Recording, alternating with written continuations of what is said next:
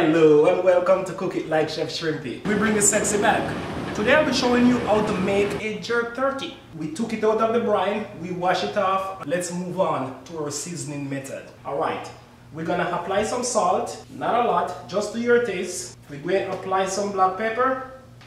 We're gonna apply some Chef Shrimpy poultry seasoning. But if you don't have my poultry seasoning, you can use whatever seasoning you have in your home. However, if you want to get the poultry seasoning, which I would re strongly recommend, you can go to thejerkcafe.com and you can purchase it there. We're gonna add some Chef Shrimpy jerk sauce. This is a 7 ounce jerk sauce and we're gonna apply all of it to this wonderful turkey. So we pour that on and now we're gonna rub this thing up. Rub it up just like that. This is a small knife I have here. I'm gonna burst the breast, I'm gonna burst the hips on the outer part and on the inner part. And what I'm gonna do, I'm gonna sink or penetrate some of the jerk sauce down in these holes that I made. So this jerk sauce goes down into these little crevices and corners so that the turkey give you that jerk taste and flavor that you require and that lovely Thanksgiving day. Right in the belly, yes sir.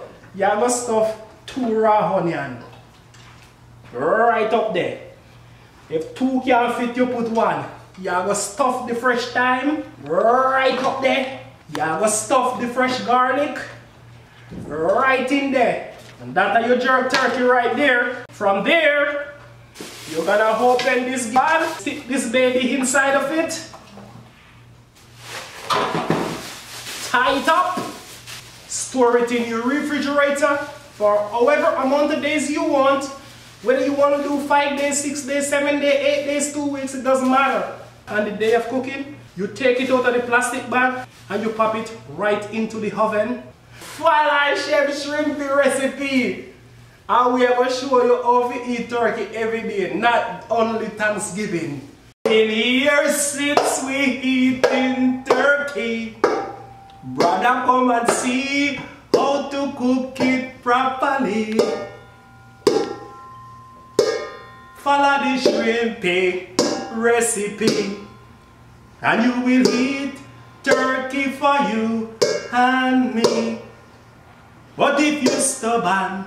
And if you no follow the recipe, you will never enjoy your turkey. Rather come and cook your turkey. The way the shrimpy show you, and you will